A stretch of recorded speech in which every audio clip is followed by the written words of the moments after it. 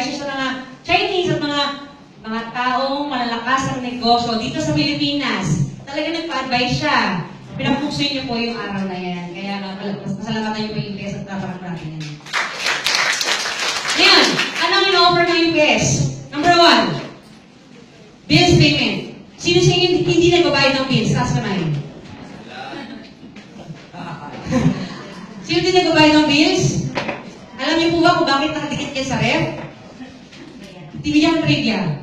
Bakit nakadikit ang resibo ng Meralco bill sa ref? Well, para di makalimutan, I'm sorry, alam ko hindi yun ang punto mo. Ang punto mo, para lahat na tumadaan, makita, ano yung anak mo, na walang ibang ginawa, kung mag-charge na mag-charge yung cellphone niyang lobat ng lobat. Di ba? Lalo na yung kapatid mo, na walang ibang ginawa, kundi bukas na ng TV, dahil di naman nanonood. Di ba? Hindi pinapatay yung laptop. Para hindi na naging ref para makita ng karamihan, makita ng lahat. Para bills, tingin mo sakaling itong negosyo mo, may kitaan ka kaya? Bakit unang-una? Ang tao, lahat, nagbabayad ng bills. Kung hindi ka nagbabayad ng bills, malamang toddler ka pa. Tama? Pero kung sakasakali man nag-teenager ka na at may boyfriend ka na, malamang siguro ka paano naiisip mo yan, tapos magambagay sa bahay ninyo. Bills. Ano meron sa bills natin? May Meralco, Maynila, SSS, NBI, PLDT, PRC, bago lang yan. POE, bago lang yan. Tarelco, Pelco, Palelco, Pelco 1, 2, 3. Lahat halos ng bills, postpaid, credit card, lahat. Even tuition fees po, meron tayo. Kaya bantaan mo na, mga kumare mo. Mare, may anak ka ba na nag-aaral ngayon ng college? Yes na Lasal siya. Bakit? Gusto mo bang hindi na yung bumupit? Tapos na malimigay ang araw ng mga estudyante dahil ang COVID days mo ay over na. Hindi na, hindi na makakupit. Bakit? Magbabayad na yung mommy mo sa amin ng tuition fee direkta. Pangalawa, hindi ka na ma-hold up at hindi ka na mahihirapang mag-enroll sa enrollment day mo ng pagka-isaw-isaw. Bakit? Ang mami mo, diretso na magbabayad sa UPS. Pwede? Pwede! Wala pa natin yan. Tuition pa lang yan. Kamustahin pa natin mga government, yung mga signal TV. Meron tayo niyan. Ah, ano ba yung karamihan? Ang internet, internet. Sino may internet dito?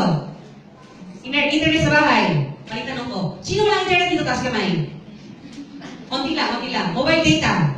Sino yung walang mobile data? Hindi, matanong ka lang. Sino walang mobile data? Taas kamay. Okay lang. Isa. Sino yung walang kapitbahay na may wifi? Bakit? As long as kahit anong klase internet connection, makakapag-transact ka po, DSL, Wi-Fi, mobile data, kahit Wi-Fi ng kapitbahay pwede. Okay, pwede, pwede. May desktop ka, computer ka, laptop ka, or kahit cellphone lang ang meron ka, makakapag-transact ka 24-7, even holidays. Pwede? Pwede? Pwede. Now, kaya ko natanong sa inyo, kung sakali ano mga gadgets mo, pwede ka kasi mag-transact, saka sakali cellphone lang gawin. Kung sakali nagtatrabaho ka, umano ba mag-transact ka, utas ka ng kamay tuwing lunch break? Lunch, sino man katrabaho, tas kamay? Trabaho. Iba nag-resign na? Ang nagtatrabaho ko, every lunch break, taas mo kamay mo. Oh, sino magpapaload? Sino gusto magbayad ng bills? Huwag ka nang lumabas ng building na to, dahil pwede po sa akin. See? Lunch break is 60 minutes. Kasi lumabas ka, sa sakali magbabayad ka ng bills, o mag-undertime ka, o mag-apply ka para mag-askaso ng mga bills mo, magbayad dito sa trabaho mo. May kasama pang resibo. So how can you tell me na may work ka, paano makakapag-negosyo? Kaya kung gugustuhin. 459, nung nagmanga nag-make up, na yun, mga alas 4 pa lang, nag-make up ka, nagkamadali pa uwi. Tama, itaas mo ulit yung cellphone mo. O, sino ulit magbabayad ng bills? Pat- Patapos na, pauwi na, uwi na tayo, sino magbabayad ng bills? May negosyo ka pa rin. Walking Bayad Center. Okay? O, tip yan. Bills, ngayon. Kung sakali magkatayo ka nga pala dito klaseng ah, negosyo, ang pinaka number one na unahin mong pag-aralan at assignment, alamin ang sino kalaban. Alamin mo sino kalaban mo. Ah, okay ba tayo doon? Yes. Pangalawa, yung kalaban mo ba, ano ang operational hours ng kalaban mo? Factor mo ba yan? Yes. Pangatlo, alamin mo kung sakali sakaling magkano pamasahe papunta dun sa kalaban mo. Kung regular fare, special fare, jeep, lakad, ah, padyak lang siya kung paano makapunta, transpo. Alamin mo, dahil factor po yan. Tama? Pang-apat, alamin mo kung sakaling Mondays to Fridays or Mondays to Sundays po ang operation niya. Okay? Okay po ah. Bakit? Yan po kasi dapat ang inuuna ng mga gusto mag-franchise. Inaaral mo muna dapat yung sakaling sino yung kalaban mo. Huwag mo unahin yung pwesto mo kung sakaling marmol yan, kung kahit giginto ka ng pwesto mo, kahit yung fiberglass pang ilagay mo dyan, kahit sa pupa po ang security guard ang upuin mo sa pwesto mo, huwag yun ang unahin mo. Makakapagkitay mo yun. Ang unahin mo, mag-franchise ka muna, syempre. Bago pwesto, pakalawa, karali mo yung negosyo. Okay? Ko nasabing kalaban? 7-Eleven mo, magiging kalaban mo. Cebuana, magiging kalaban mo. Ano pa? Bayad Center, magiging kalaban mo. Palawan, magiging kalaban mo. Ano pa? LBC, SM, magiging kalaban mo. Imagine mo si Henry kalaban mo. At least ngayon, match na kayo. Di ba? Level mo na siya. Henry C. kalaban ako ngayon. Oh my God. Up level lang po ito. Di ba? Ang ganda-ganda ko. Kung ka-level ko si Henry C. At least. Di ba? At least. Di ba? Ngayon, kalaban mo yan. Alamin mo ah, yung operation hours nila. Ang LBC ba? Habang maghapon bukas? Hanggang 5 lang. SM, hanggang oras? 10. Ah, Pero ang bills nila, hanggang oras? 10. Ah, Cebuana, hanggang anong oras? 5. Yung cut-off sa bills yun. Ano ba? Ano ba? LBC? Bakit na? Palawan, bakit na? Anong punto ko? Operational hours? Wala silang panama sa beauty mo dahil ikaw ay 24-7. Tama? Wala kang panama, wala silang panama sa beauty mo. Transpo! Sabi ng karamihan, eh, Nelly, sa amin nilalakad lang. Eh, sa amin, 8 pesos lang, nandun ka na. Eh, Nelly, sa amin, 20 pesos. Para hindi lang ikaw ang nagbabayad ng bills sa taan mo. Sa probinsya, kailangan magkalaro ka pa para magbayad ng bills. Tama ba? Totoo! Paano wala kang kalabaw? Regalatarin mo yun. Kamusta ang sinela? Sino sa inyo malalayo bayaran ng bills? Taas kamay. Malalayo ang bayaran? Isa lang? Isa lang? Dalawa? Dalawa lang malayo. So, kaya paano may, may benefit sa'yo. Sino medyo malalapit? Taas kamay, malalapit. Taas kamay, taas kamay, taas kamay.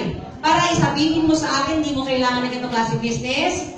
Dahil malapit lang, kamustahin kita. Ang mga babae ba, nakakalabas ng bahay na walang bra?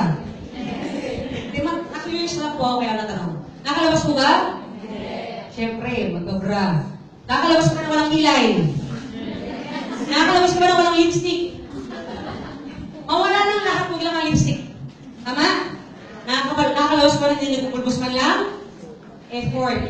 At kung sakali mo lang magpapatay sa anak mo, makakalabas ka ba nang iiwanan mo lang siya sa bahay? Hindi. Iyasama mo hindi. Ibisan mo hindi. Paano pag nagturo ka? Tandaan mo, pag sa bills payment, never na nangyari na ikaw muna sa pila. Tama ba? Pag ikaw muna una sa pila, tandaan mo, iba na po yun. Pag ikaw na una sa pila, tandaan mo, baka holiday yun. Kaya nagtataka ko lang tao ng pila. Tama? Nangyari po ba yun? Sa pila po kasi ang bata mahihipin. Pag mahaba po ang pilahan, ang nangyari yung bata naiinip. Anong sinasabi mo? Sandali na lang tayo. May makto ka mamaya. May Jollibee ka mamaya. O, Tingnan mo, para sabihin mo sa akin na 8 pesos lang ang ginastos mo. Hindi, 100 din. Kasi kasama ang meal at Jolli- Jollibee. Tama po ba? Tama? Tama. Nalututo na kayo ha. At para sa lahat na nagkasabi, Nelly kasi, puro duty ka mga binabayaran sa akin ng mga kapitbahay. O, gusto ko pong i-correct ang mentalidad ng mga Pilipino. Bakit? Sabi ng karamihan, pag bills, binabayaran daw ng maaga, mayayaman daw. Uy, yayamanin. Mga ginagbayad. Di ka tulad ko, purita, nagbayad, duty. Sabi ng karamihan, hindi daw normal. Maniwala ka sa sasabihin ko, mikit. Ang mga mayayaman po, yung mga nagabayad ng duty. Bakit? May penalty. 10%. Para sabihin kong purita, ang mga nagabayad ng due date? No, sila po mayayaman. Bakit? Mas gusto nila magbayad ng may dagdag. Kesa yung walang dagdag. See? 10, imagine mo, 10% po yun, ang penal, 10% ng penalty. Naglalaro po yan sa halagang 30 pesos to 100 pesos na dagdag. Dalawang kilong bigas na yan. Para ibili mo sa kapag ng pamilya mo. Ang purita po, yun ang babae ng maaga. Okay? Kaya para sabihin mo sa akin, Judith lang, oh, you're, you're getting mo kapitbahay mo, mayaman ka ba masyado? Hindi! Ano ba ng